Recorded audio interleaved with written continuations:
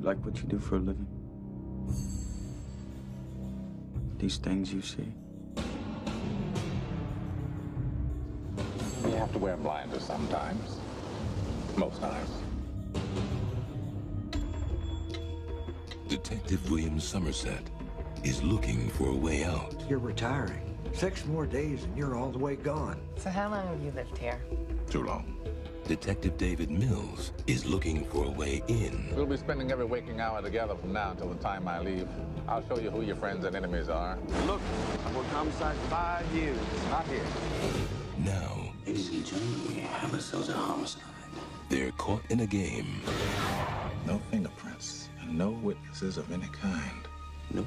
About the only thing we know about that guy right now is he's totally insane. where the price of sin is death. There are seven deadly sins. Gluttony, You're going to come take a look at this. greed, No one touches anything. sloth, wrath, pride, lust, and envy. Seven. You can expect five more of these. Body was found on Tuesday morning. I hate this city. We're gonna get who did this. This will be the very definition of swift justice. There are two more bodies, two more victims. This guy is methodical, exacting, and worst of all, patient. He's laughing at us. he had a gun. He's two murders away from completing his masterpiece.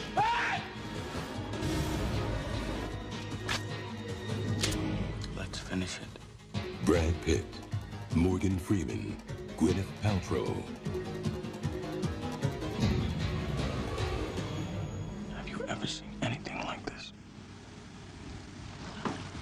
No. Seven.